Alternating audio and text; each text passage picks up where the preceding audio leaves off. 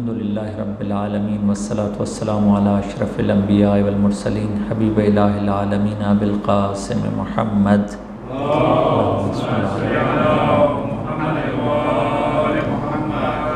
आलतबीन ताहरीन वसहबिलमतजबीन अम्माबाद फ़कत खाल तबारक वाली कलामजीद बसमीम कुल हली यस्तबिल्लिन यालमून वल्लिन ला यालमून दरूद भेजे मोहम्मद वाल मोहम्मद की ज़ात अकदसा पर।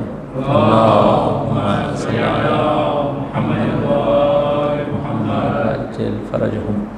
कुरान मजीद फ़ुरक़ान हमीद की ये आयत जिसका तर्जुमा यह है कि हल यस्तविल्लदीन यालमून वल्लदीन ला यालमून। कि ये हमें कुरान सवाल कर रहा हमसे क्वेश्चन है कि आया तुम लोग ख़ुद बताओ, तुम्हारी अक्ल ये बात बताए कि ये जो जानने वाले होते हैं, जो आलिम होते हैं और जो ना जानने वाले हों, आया वो इक्वल हो सकते हैं, बराबर हो सकते हैं? हमारी अक्ल कहेगी कि नहीं। सही? आलिम से मुराद पूरा माना है। आलिम से मुराद फ़कत मौलाना नहीं है। आलिम से मुराद जो पूरा मीनिंग इसका है, जो वाक़ जानने वाला हो और उस पर आमिल हो, अमल करने वाला हो। हम लोग को भी आज उन्हीं के बारे में, जो वाक़ हकीकी है, अपने दीन अपनी दुनिया के साथ साथ दीन और दीन के साथ साथ दुनिया के आला मरातब पर फायज थे, उनको उनसे लेसन लेने जा रहे हैं। और ये हमारी आज के सिलसिले की आखिरी नशस्त होगी, जो कल आपको पता है आमाल होंगे और फिर आगे परसों फितरा के अहकाम और फिर दुआई विदाई माह मुबारक रमदान जो वो प्रोग्राम है इन उसको बढ़ाया जाएगा। लेकिन ये जो शहदा वाला सिलसिला है, ये आज आखिरी प्रोग्राम है। हम लोग जो लेसन लेने जा रहे हैं, जिन आलिमों से, अगरचे उनका अमामा नहीं है, लेकिन वाकन वो वाकन कल्बी तौर पर और अल्लाह की बारगाह में उनमें से थे कि, कुल हल यस्तविल्लदीन यालमून ये यालमून वाले में से थे। ये फाइव न्यूक्लियर साइंटिस्ट्स ये साइंसदान थे साइंटिस्ट थे, कि जिनको शहादत नसीब हुई। आखिर में चंद, आप लोगों ने चंद माह पहले की बात है, शहीद फ़खरी ज़ादे जो कोरोना की वैक्सीन पर काम कर रहे थे और तकरीबन आखिर आखिरी फ़ेज़ में था तो इनको शहीद कर दिया गया। और शहीद मजीद शहरियारी भी, शहीद मसूद अली महमदी शहीद रज़ाई नयाद या शहीद मुस्तफ़ा अहमदी रोशन। सारों के बारे में डिटेल से नहीं बताया जा सकता, इतना टाइम भी नहीं होता। फ़कत जो चीज़ बताने की है, वो ये है कि हम लोग को जिस शहीद के बारे में अभी बताने जा रहे हैं वो शहीद मुस्तफ़ा अहमदी रोशन।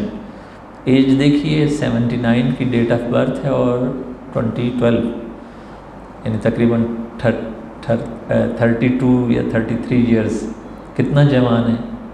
और ये साइंटिस्ट से न्यूक्लियर साइंटिस्ट थे और साइंटिस्ट होने के साथ साथ असल में जो इंसान था बहुत पाकिज़ा इंसान थे। बहुत पाक और पाकिज़ा इंसान। और आप लोग ये नहीं, कभी आप लोगों के जहन में गया कि साइंटिस्ट को क्यों मार रहे हैं? साइंटिस्ट तो कुछ वो नहीं करता है, वो तो इल्म की बात करता है और आगे पूरी ह्यूमैनिटी को आगे लेकर जाता है। उसको मार देना यानी साइंस को मारना है। ठीक है ना? यानी कुछ इल्म की चीज़ जो इन्वेंट होनी थी, उसको ख़त्म कर, किया जा रहा है। ये बहुत बड़ा जुल्म है। लोगों के साथ। ऐसे समझे, अब अगर लाइट ना होती, हम क्या करते? बड़ा हमारे लिए मुश्किल होना था, ठीक है ना? अब जिसने भी लाइट दरियाफ्त की है, अब उसको, उसकी और भी बहुत सी ईजादात हैं। अब उसको अगर मार दिया जाए, कहा जाए कि इसको मार दो, हो सकता है उसने बहुत से काम इंसानियत के इंसानों के लिए ह्यूमैनिटी के लिए करने हों, लेकिन न उसको शहादत की वजह से, उसको मारने की वजह से रुक जाए सब। जो उसके जहन में हो, जो अल्लाह तबारक ताली ने उसके जहन में डाला हो ये बहुत बड़ा एक जुर्म है जो जो लोग भी ये करते हैं। अतः ये फ़कत ईरानी लोग नहीं है, अगर पूरी इसकी हिस्ट्री है, आप लोगों को शायद तवज्जो ना हो इसकी। जो भी इस्लामिक वर्ल्ड में अच्छे अच्छे बहुत बहुत पढ़े लिखे हों, और वो वेस्ट को या अमेरिकन को फॉलो ना करते हों, इजिप्शियन कुछ साइंटिस्ट को इन लोगों ने मारा था, शहीद किया था। इराकियों को मारा है, जो कोई मीडिया में कभी नहीं आया। ईरानियों का इसलिए आ जाता है कि उनके पास हुकूमत है, इनकलाब इस्लामी है, वो अपने शहदा की कदर करते हैं, इसलिए हाईलाइट होते हैं। बाकी कितने शहदा को मारा है, जो इस्लामी मुल्कों के बहुत बड़े साइंटिस्ट थे, जिनकी खबर नहीं है। या अगर मारा नहीं होता तो उन पर ऐसी एलिगेशंस लगा देते हैं कि वो फिर किसी काम के नहीं रहते। ये याद रखिएगा कि बड़े मुल्कों में ऐसा भी हुआ, इस्लामी मुल्कों के उसने बहुत बड़ा बड़ा काम किया है। पहली चीज़ तो ये करेंगे कि ब्रेन ड्रेन, उनको ऑफ़र करेंगे पैसे की सारा, ले जाओ वेस्ट ले जाए। बड़े बड़े मुल्कों में ले जाएँ। अक्सर लोग कबूल कर लेते हैं, लेकिन जो कबूल नहीं करते वो नज़रियाती तौर पर स्ट्रॉन्ग होते हैं। उन्हें होता है कि नहीं, हमने अपने कंट्री के लिए, अपने देश के लिए करना है। तो अगर कोई इससे भी बड़ा लेवल हो देश के साथ साथ इस्लाम हो, फिर शिया हो, फिर उन लोगों को ऑफ़र भी हो, वो ऑफ़र एक्सेप्ट ना करें, उनको फिर उनको यही होता है कि अगर ये और ज़िंदा रहा तो बहुत सी नई चीज़ें बना देगा। तो ये शहीद अहमदी रोशन उनमें थे, से थे। मैं ये चीज़ आप लोगों को बताने जा रहा हूँ, ये देखिए उनके पेरेंट्स हैं, वालदेन हैं, ये भी कोई बहुत बूढ़े नहीं हैं देख रहे। थर्टी टू ईयर्स का जो बच्चा हो और बिल्कुल वो जवानी के औज पर होता है। और आप ये ये एक जो चीज़ मैंने ये पिक्चर इसलिए लगाई है, आप लोगों के साथ एक चीज़ शेयर करने जा रहा हूँ। वो ये कि आप लोगों को फील नहीं होता कि एक जवान इतनी मेहनत करे, इस लेवल पर आ जाए और फिर उसको शूट करके मार दिया जाए, या कोई डॉक्टर हो, कोई इंजीनियर हो, उसका, उसको मार दिया जाए तो उसके वालदेन के लिए क्या होगा? सारी ज़िंदगी उसके बाद उसके वालदेन ख़त्म हो जाते हैं, अंदर से ख़त्म हो जाते हैं। पेरेंट्स जो होते हैं ना माँ बाप उसके बाद वो ज़िंदा होते हैं, लेकिन हकीकता अंदर से मर चुके होते हैं। उनके लिए बहुत फिर सर्वाइव करना सख्त होता है।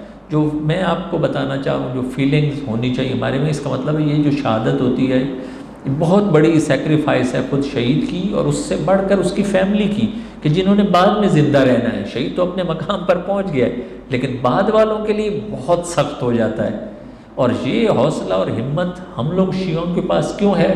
करबला वालों की वजह से कि हम लोग उनका गम याद करके अपना गम हल्का कर लेते हैं। हमें लगता है कि हमारा गम कुछ भी नहीं है। ये शहीद जो है, ये इस लेवल पर थे कि ये सेटिस्फेक्शन ऑफ़ इमाम ज़मान इनको, इनकी वाइफ ने ये ख्वाब नकल किया कि एक रात सोए हुए थे और एकदम से उठे। जब उठे तो वो इनकी कैफियत बड़ी थी, परेशान वाली। तो जैसे परेशान थे थोड़ा सा तो वो वाइफ कहती है कि मैंने चंद सेकंड्स के बाद देखा कि हंसने लग पड़े अचानक से। जब उठे तो उस टाइम थोड़ी सी वो इंसान ताज्जुब की हालत में होता है, हैरान और वो परेशान होता है, वो कैफियत थी, लेकिन चंद सेकंड्स के बाद मुस्कुराने लग पड़े। तो बीवी ने पूछा कि क्या हुआ है? तो इन्होंने ये कहा कि इमाम ज़माना जल्ला ताला शरीफ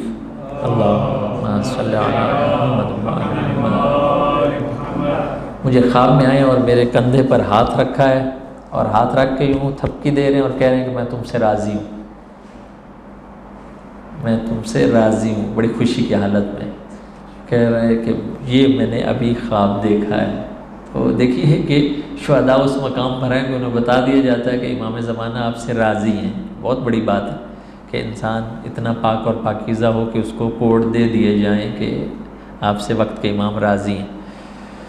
अगली चीज़ जो इनकी ज़िंदगी के बहुत से वाक़ात हैं उसमें से एक वाक़ ये भी नकल किया जाता है कि ये इमाम रज़ा सलाम के हरम में जा रहे थे और बहुत ज़्यादा बर्फ़ स्नो फॉलिंग हो रही थी बर्फ़बारी हो रही थी। तो इन, इनके पास वो आपको पता है ईरान में सर्दी भी काफ़ी होती है। तो जो भी जैकेट और वो जो रुमाल होता है, वो इन्होंने पहना हुआ था। इन्होंने देखा कि आगे से एक सेन में एक, वो आपको पता है, बड़ा सेन है ना, सेन जाम रजवी उसको कहते हैं। वो बड़ा है, उसको क्रॉस करने पर भी टाइम लगता है। इन्होंने देखा कि एक शख्स आ रहा है आगे से तो वो उस सर्दी की वजह से ठिठर रहा है, एज भी उसकी ज़्यादा है। और उसके पास कुछ ख़ास वो नहीं है अच्छा कैप्शन नहीं है अच्छा वो रुमाल और मफरल जो भी लपेटते हैं वो नहीं। तो इनकी बीवी थी, साथ इन्होंने देखा कि उन्होंने उतारा है और उसको पहना दिया है और कहा है, बस, इल्तमास से दुआ। फ़ौर से सख्त होता है कि ख़ुद भी बहुत सर्दी हो, उधर से बर्फ़बारी हो और देखे अगले की हालत देख कर फिर इंसान उतार दे और कहे कि मैं, मेरा कोई मसला नहीं। यानी इनकी ज़िंदगी में वो सेक्रीफाइस के वाक़ बहुत ज़्यादा मिलते हैं कि बहुत ज़्यादा ख्याल रखना दूसरों का, बहुत ज़्यादा। थर्टी टू ईयर्स कुछ भी नहीं है एज आप लोग देखिए जो हमारे जवान बैठे हैं इस एज के, कि अपनी ज़रूरत सेक्रीफाइस क्या होता है कि आपको ज़रूरत है।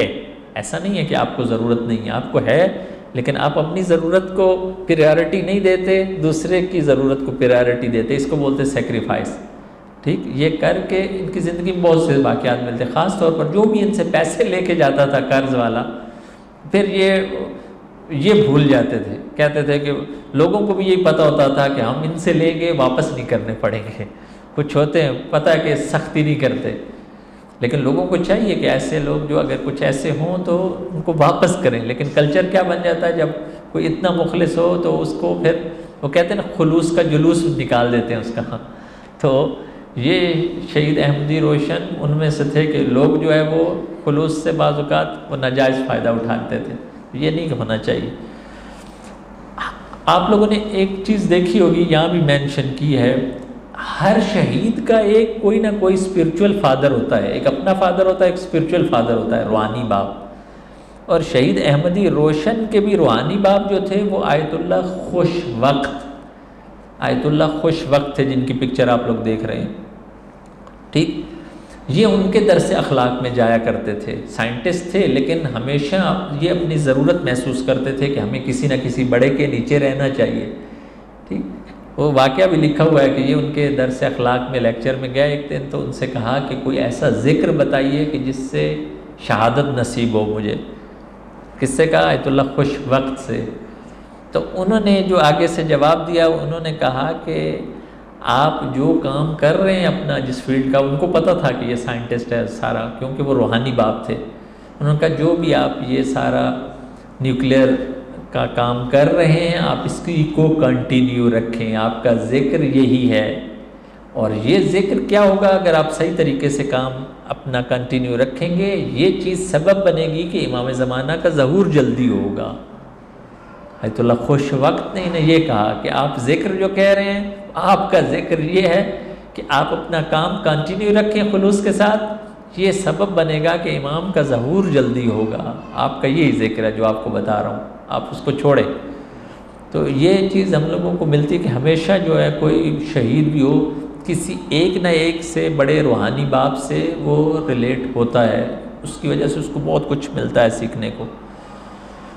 अब जब ये शहीद हुए तो ये रैबर इनके घर आए, ये आप लोग पिक्चर देख रहे हैं, इनके वालदेन की भी है और इसकी वाइफ की भी ये उनका बेटा है, इसका नाम है अली रज़ा, छोटा सा बेटा है, देख रहे हैं आप लोग, ठीक?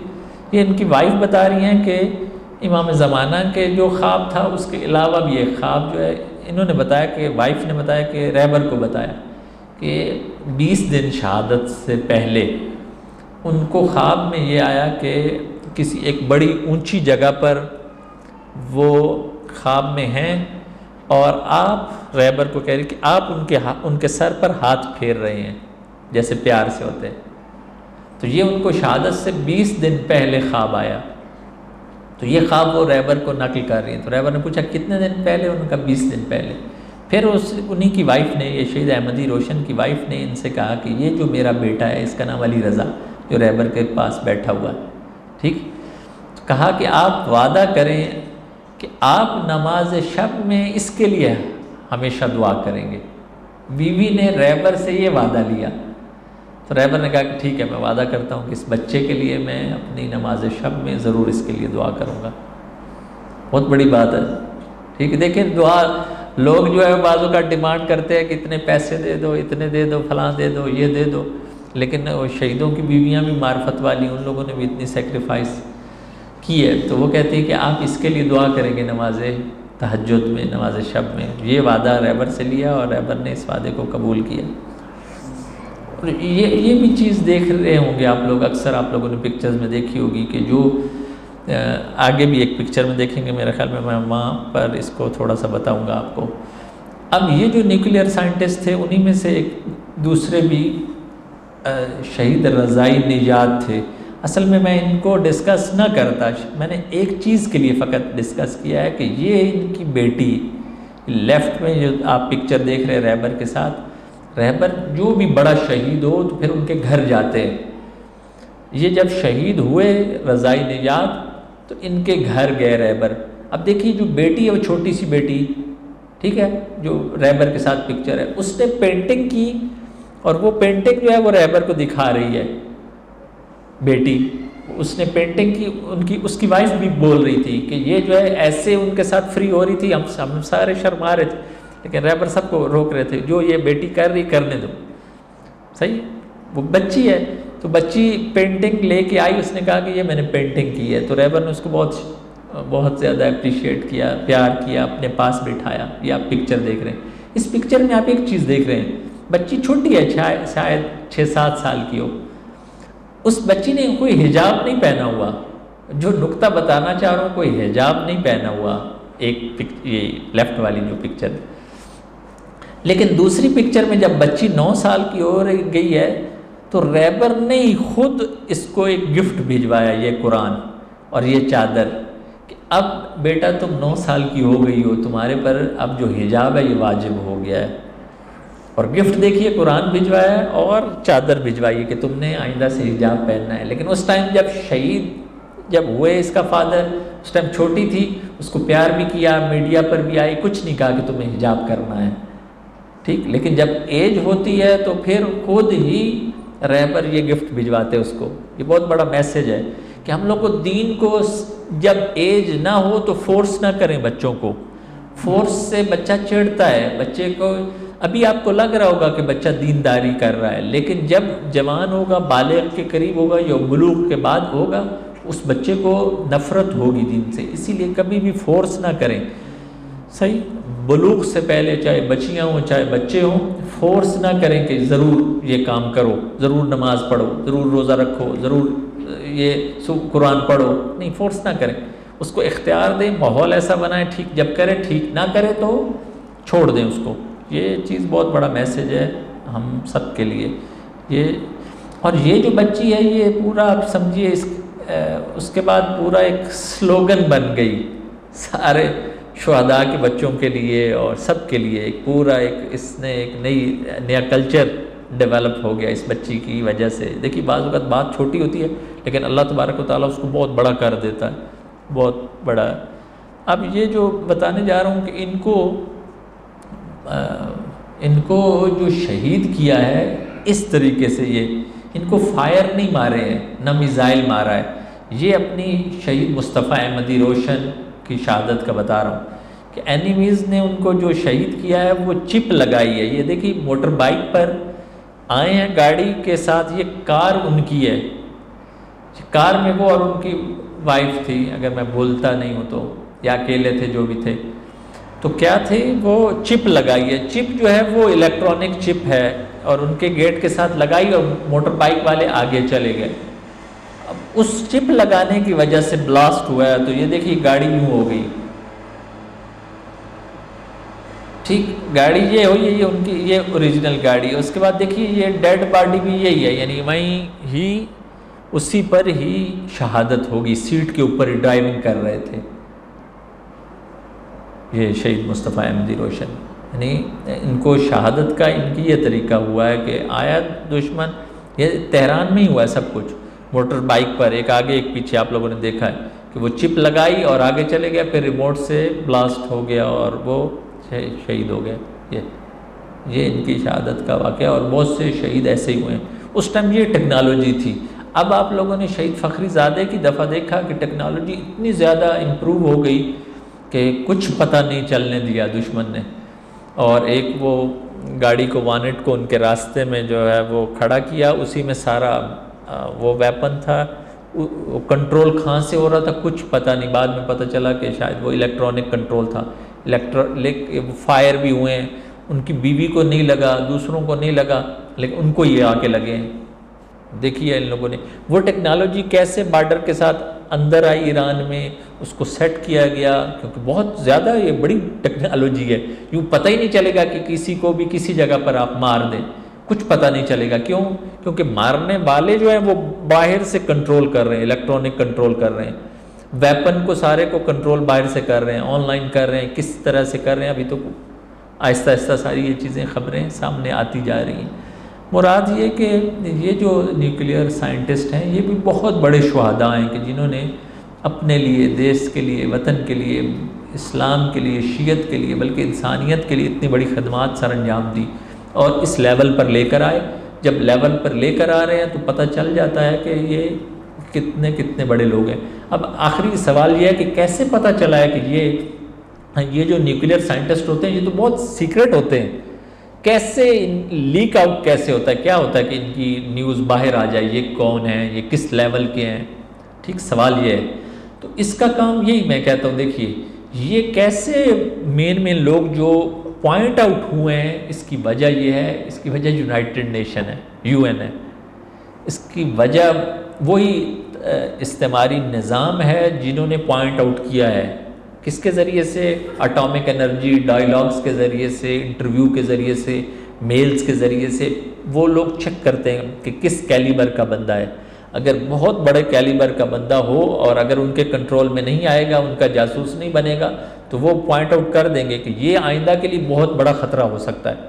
नतन जाहू ने आपको पता है, वो यूनाइटेड नेशन में फ़खरीज़ादे का नाम लिया था कि ये ये ये काम कर रहा है। उसके पास कहाँ से आ गया डेटा कहाँ से आया? सारा यूएन के ज़रिए से आया। यूएन के ज़रिए से कहाँ से आ गया? जो गवर्नमेंट ऑफ़ ईरान और यूएन में जो भी एग्रीमेंट होता है, उसमें ये बड़े बड़े लोग जो होते हैं, वो पॉइंट आउट होते हैं। इसीलिए ईरान में इजाज़त नहीं होती कि जो डायलॉग्स वाले हैं, वो पॉलिटिकल लोग करें।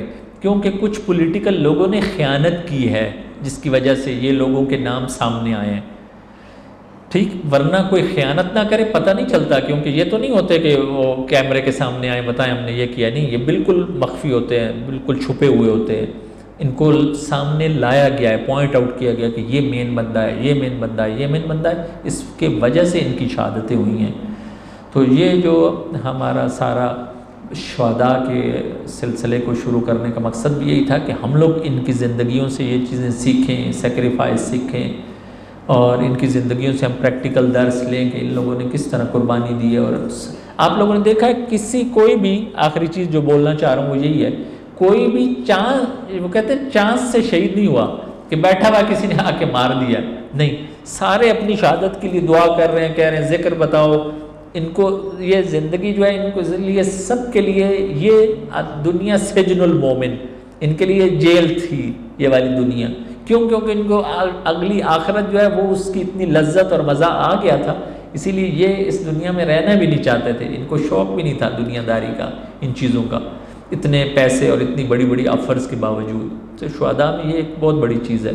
हम लोगों को जो सीख, चीज़ सीखनी है वो अल्लाह की रज़ा है और मौत की तरफ़ आगे बढ़ना है। और ये चीज़ जेन में रखी है कि ज़िंदगी के जो हमारे प्लान्स हैं प्लीज़ आखिरी चीज़, अगर हमने शुदा से ये सीख ली तो समझें कि माह मुबारक रमज़ान में बहुत कुछ सीख लिया। मौलाना सैयद असर काजमी साहब, आप अपनी ज़िंदगी के प्लानों में मौत को भी शामिल करें। मौत के बारे में प्लान करें।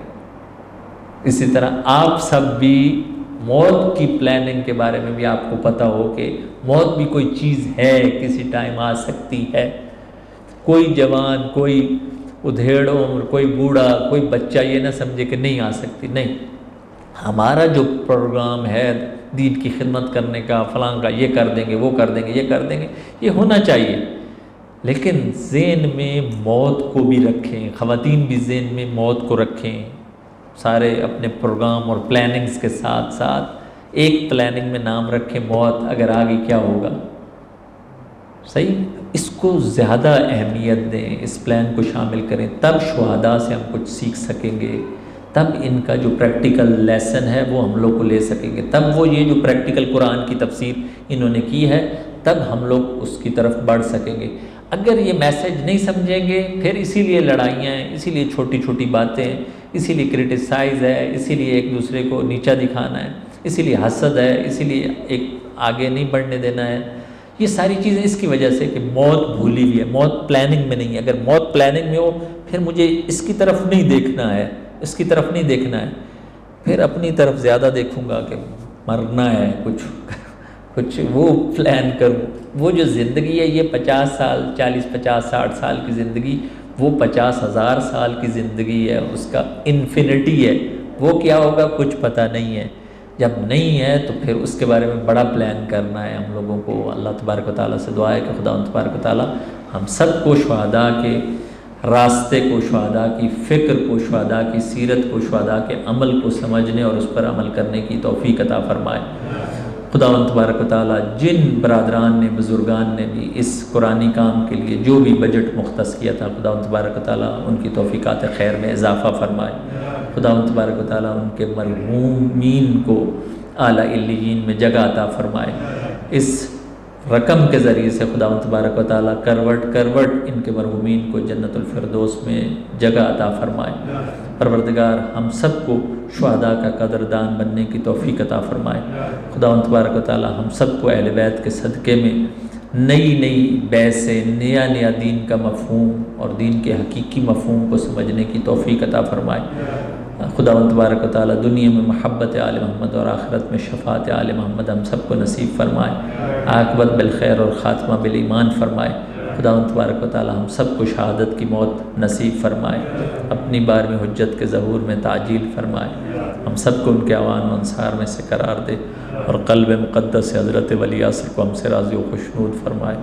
हक़ नबी वाली फ़ातमत हसन वलसैन वबतमासूमी मिन दुर्रियत हुसैन अलैहिस्सलाम अल्लाहुम्मा सल्लि अला मुहम्मद व आल मुहम्मद